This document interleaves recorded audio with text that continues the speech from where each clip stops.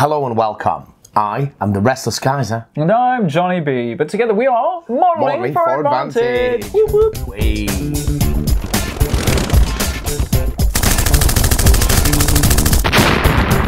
A festive treat. You may have put me on the scent and trail of these beautiful little kits. So the Mrs. Kaiser got wind of the fact that uh, Lidl were doing discounted 172nd Airfix kits, £7 each. Yeah, six ninety nine retail. I don't know if they've done this before. Maybe they have. sort of for Christmas. So this is very time sensitive. I assume when they sell out, they sell out. Their particular kits, we're going to have a look at them. Particular type of kits of Airfix. Yes. They're, they're they're like their easy build things and so forth. Allegedly, that's that's the thinking. So you picked up a few. There was a few more than this, but they were mostly airplanes. Not much more. There's two other um, options, which is the Tomahawk, which I'm is a P40 Tomahawk. variant or something, and then that, which is some German jet, I guess. It's very yellowy looking in okay. colour. Anyway, so what we got here: Tiger One, Sherman One. Firefly, Supermarine Spitfire Mark One A. So very early. Battle of Britain, maybe Oh. maybe even before. Perfect. Battle of Britain era, early Spitfire, and a Willys Jeep. But it's not just a Jeep. It's not just a Jeep. we'll look at that in a bit. But All right. yeah. Well, should we look at the Jeep first? Yes. Let's look at the Jeep. Do you want to get the? Do you want to get Let the go get the tools. Please hold. Tell them about the Jeep, John. So this is the one you were after, right? Has it got any blurb on it? It does, but I can't actually read it in this light as it's tiny, uh, tiny, Tiny writing. words. It does have a QR code on the back, which looks like an advert Yeah, from Jeep. it actually has Jeep, and then this little yeah QR code. So the box tells you there's some like information on it telling you skill level. The one Apparently, it's is in one. yellow and the others are in different. So we're assuming skill level one. And this kit comes with trailer options. Yes, it does have many options, i.e., a friggin', as you say, a trailer, but you also get a, a howitzer with it. You also get paints, key feature. Hopefully, we'll have a little look at those as well. And you get a little squidgy bowl of uh, plastic cement.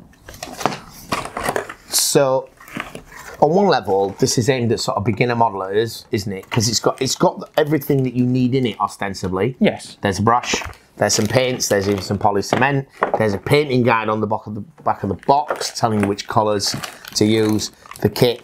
So you can do this as a rank beginner. However, Does that look like a rank beginner? this does not look like a beginner model kit. That's not a single sheet. Nice full colour painting guide. That's a nice touch. That is a nice touch, telling you what to paint, what colour, and so forth. I like that a lot. This is a Willys Jeep with a 10 hundred weight or carat weight, CW 10, season, 10 carat weights, yeah. and 75 mil pack house. So you, get, so you got. The problem with it is, is this instruction booklet is however many pages long, and the instructions start on like page three and go through to page 12 to make a Jeep.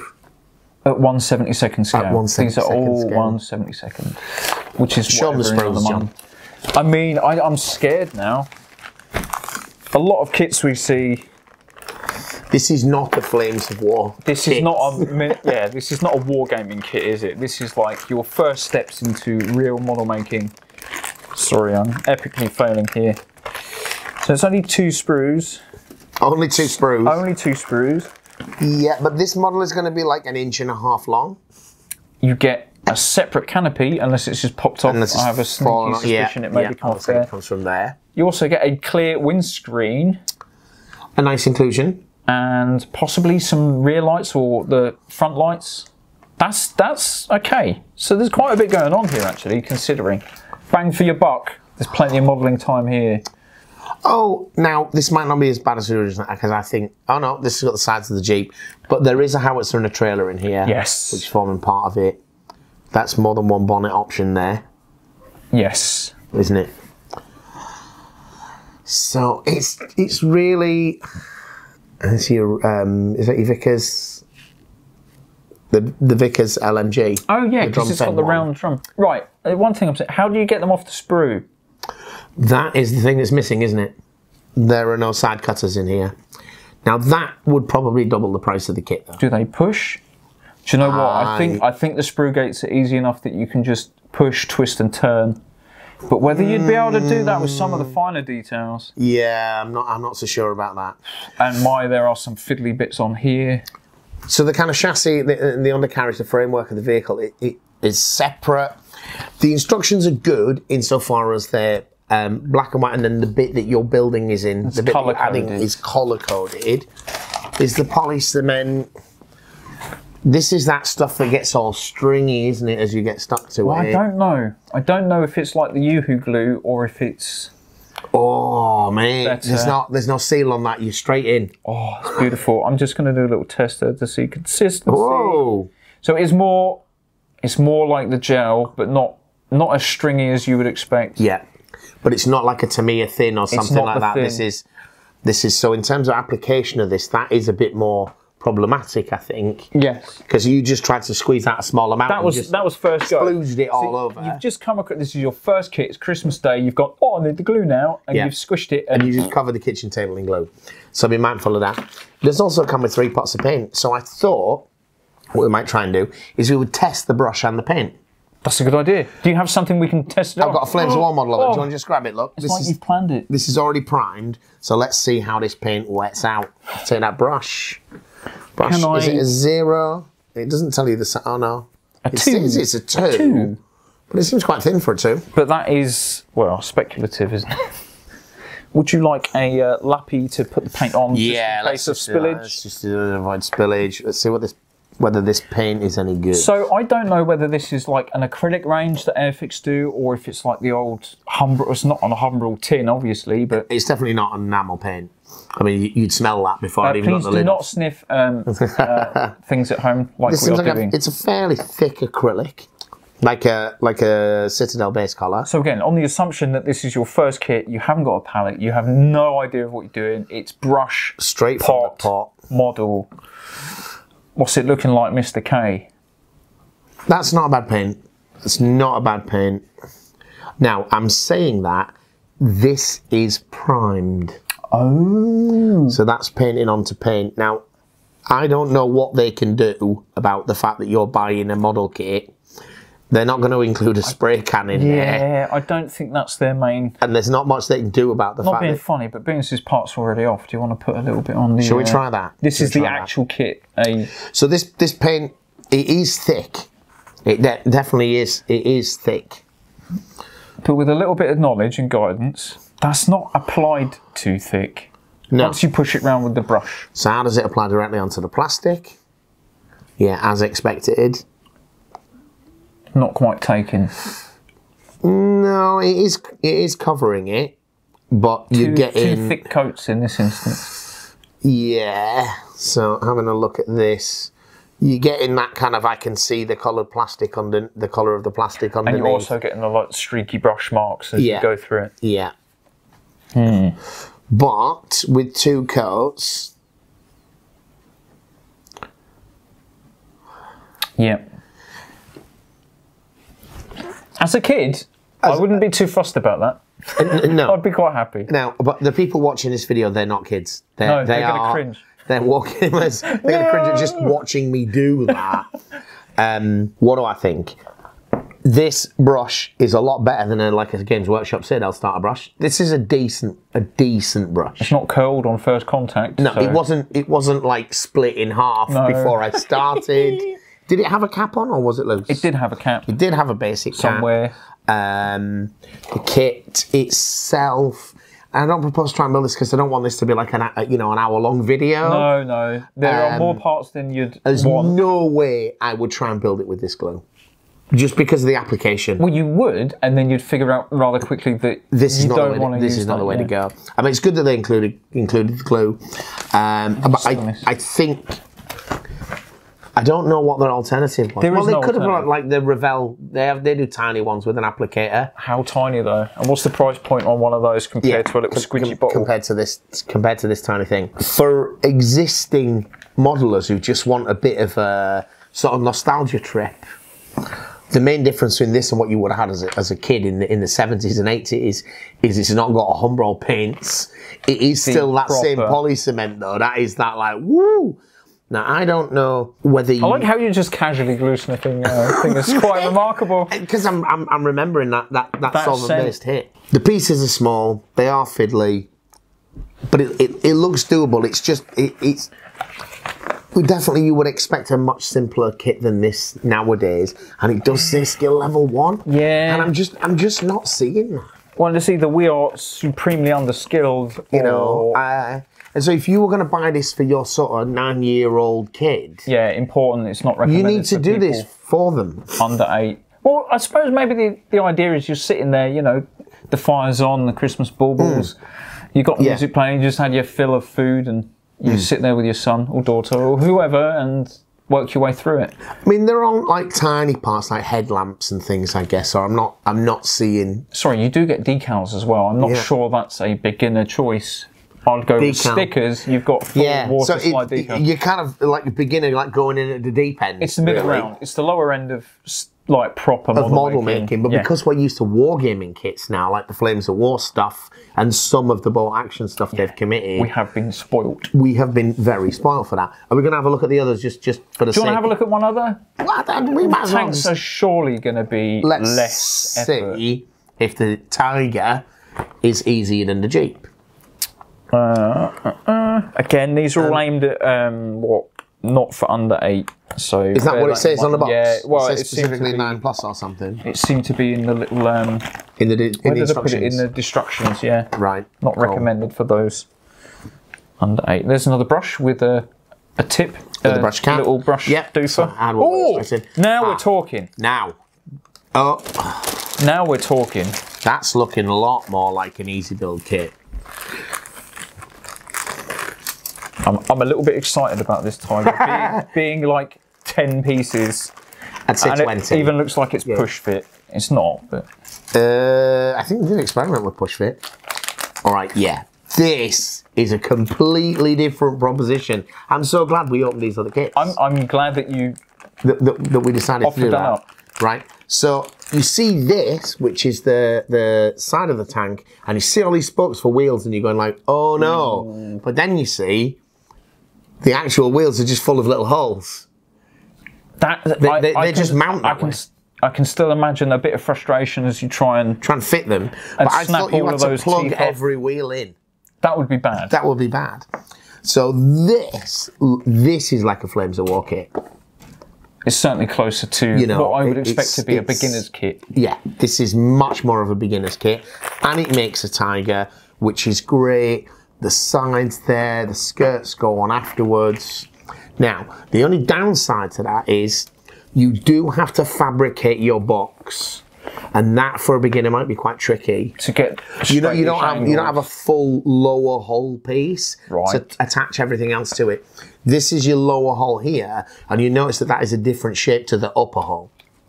That's going to fit in there, and then bits are going to go to the side of it. So there's going to be bits when you need to leave glue to set. These are even more colours in the instructions. This is a better beginner kit, massively so. Okay, so this this video has changed somewhat. Now we're looking at which ones are actually uh, beginner kits, and I, I think the Tiger one is a definite The definite winner. win for start. Three more pots of paint. We're not going to try those. Another another glue. Yep. Which is there over was there. another I'm glue over there. Another brush. Need to wash that brush later. Tiger, definitely beginner kit. reason. Decals too. Balken Cross decal sheet, very nice. Bosch. Next Let's have a up look at the Sherman Firefly. Here's the Sherman Five. An easy build. Or oh, is it a five or a Firefly? It says Firefly. A Sherman Five. I think all Fireflies are Sherman Fives, though. As standard. Well, it looks to have that triple Oh, the brush triple fell on the engine floor. part. You look at the destructions. Uh. yeah, this this looks easy build again. Three more colours. One more glue. Three more colours, one more glue. Yeah, this is across two sprues. Again, wheels and running gear in a single piece. In this case, the entire upper turret is in one piece rather than a few. This is a Firefly because it's got that three-part transmission cover, so it's a British Sherman rather than. It's Ah, a it's a Sherman subtle. for British service. Right. So on a right, on a. Sherman five here in this knob is the bow machine gun, and on a Sherman Firefly there isn't. They remove the machine gunner position and put ammo in it. Oh. Because the 17 pounder ammo is a lot bigger, so to carry more To rounds they more lose that crew position, and that crew's space is taken up by ammo. So yeah, again, the the bulk of this now the lower hull though. So this has got some interesting keying. This looks very much aimed at beginners. You see the keying in this? triple, and then you've got all of It's that. got- it's got It's these- even got a these- little picture of the tank in which direction. Look, the turret in the front. and That's a lovely feature. I don't know if you can see it on here. There's a, there's showing you the which way it's pointing, which is going to help you line it all up. Because again, you've got to put these side panels in to this to get to the floor of the tank. And I don't know whether it's got um That's the glasses plate. This must be part of the back. Yeah. So again, you're assembling your box. It's a kind of different way of doing it. With the, with the a lot of the newer ones, you kind of get the lower hull as a single piece, or a When you say nearly the, single the piece. low, of of what the new Airfix kits. No, with the newer, so like with the with the bolt action, even with the artillery stuff, most of the lower hull is a single piece, and that is very much the structure of the vehicle to which you put other things on. Yes, yeah, that's the key. Uh, so this, like with the Tiger, you have to build that lower hull, and that means, Yeah. again, for beginners, you've got drying time to worry Yeah. about and to make sure it's solid. I can't remember how quickly that stuff dries, Not as dry as you, not as quickly as you, not as quickly as you would want, As yeah. a uh, but again, easy build kit, very nice. Now, the stickers on the side of these, were any of them different colours? These ones are. there was one which had a difficulty was it rating. the was it the G? Did it actually have a different It's- colour? It's, this one. It's the Tiger one. Has got instead of having a yellow as its skill rank is one, and then having the other numbers oh yeah, in orange. It's it's not a biggie. It just threw me off. I was like, why is that yeah. so I different? don't know if you can see that. These, But it's nothing. These I'm are sure. white. These are like a pink or something. Well, I wonder whether it was like this is level one intermediate and this is level one hard. Maybe. And whether we'd missed that about the Jeep. Maybe Whether it was that seems that the Tiger's the only one with that difference. with that that difference. All right, we'll have a look at the Spitfire. So Now I'm. I'm imagining this is going to actually be in the not so not so easy. pile. Yeah. Uh, so again, you got four paints Four there. paints and you glue. Of all the paints that would be useful to me, these are the ones I'm most likely to use because I don't have many aeroplanes in my collection, and I don't have like you know like those eggshell blue on the Yeah, on the colours there. there. So and that yellowish one for the Spitfires. This doesn't look bad, John. Doesn't look bad. Same brush is it again. All twos are they? We've not actually checked that. This one actually says Humbrol Airfix number two. Yeah. Humbrol Airfix number two. Number two, yeah, confirmed. Lovely decals. Lovely Yeah, big, I think nice big that's round it. holes. Some decals. kits that you pay a lot more money for don't include decals. Yes. These are six pounds ninety nine UK British money. You're getting decals, glue, paint, a full kit, hours of fun. This is Or an easy paint. build Spitfire. Really? Yeah. I am surprised. Well, there's only two sprues. And there's a lot of space. Glass canopy. Beautiful. there for when you put that in after you've painted your little pilot. But look, you've built most of the plane. Just there. by by just you got fuselage, popping it off. the lower part of the wing that fits into the fuselage, and the wingtips. They're the tops of the wings. Yeah, and they there's some, a lot of keying on here, so you're going to line them up here. That's going to fit the top. Landing gear with space for it to be, which is good because you probably I'm, don't I'm want it pleasantly deployed. surprised that it- that I kit, was expecting a um, thousand tiny little a pieces. thousand tiny little pieces. Now, pro modelers are going to hate this because it's going to be wrong. There's going to be loads of features on this thing that are not here. I guess if that's what you're looking for, yeah. Uh, but and this isn't that kit. So actually, so this for a Spitfire was all right. I, I was I, I was worried about this. Yeah, I thought yeah. this was going to be awful. yeah, like wings in three parts that you've got to carefully align. yeah, yeah. That would then this- end up you'd end up looking like you got a gold Yeah. when the glue's dried. Absolutely. That's that's a pleasant surprise. So if you bought all of these, So you've just spent thirty if you quid. just got the Jeep first, you'd be that would put you off of modelling forever. I mean, it's probably not that bad. The parts are quite small and it's got a lot more fidelity to it. Like, you know, like the, the towing hook and things like that are really small, which just isn't on these other two. So it's an odd thing to include in this range. It does it's seem clearly a one out. much more involved model. Yeah, Maybe the way that they think of it, I mean, we look at it as like parts count and parts size is a huge part of that consideration. And and these, just when we looked at the the baggie, we were like, that's an easy build kit. Yeah, you can tell. I mean, it's a Immediately. tank, but they can complicate. things. It's interesting. We started. We started at the. it was meant to be, yeah. It's meant to be a little five minute video, but we realised it was worth looking at the rest of it. Um, you have quite a range of paints by the time you finish this stuff. If you were to buy more than one. I'm not sure which paint set they are. I don't know whether it's in the in the inclusion. Do Um, there Airfix even have their own range of paints? Was there an advert know. on the back? I don't know. It just gives you some numbers. W- And was there instructions about water slide decals? I mean, to you guys, none of this matters, right? I'm just thinking like, what's this like as a beginner kit? Was our starting point, wasn't it? It's got it? lots of uh, keynotes in their instruction kits. You know what each marker represents: the glue, not glue, Yeah. where to glue. Um, but as regards to the paints, couldn't tell you. One assumes No. Airfix slash Hornby have their own paint range, and the Yeah. numbers that are provided on the box relate Match to the up to them. specific colours. Well, as I say? Painting instructions. Is not just the address? Uh, yeah, that's yeah. just a copyright thing. This colour, th- that was the painting instruction. Yeah, this is the back painting is- instructions. yeah. There you go. Uh, positively, um, positively surprised, I Block. suppose. And I think if you bought the range and you did this one last, you'd be perfectly happy with it. Oh, because you've got a, if Yeah. you've not touched it before and you've you've got, done Starting with one of these, you- uh, you couldn't make a Spitfire easier than this. No.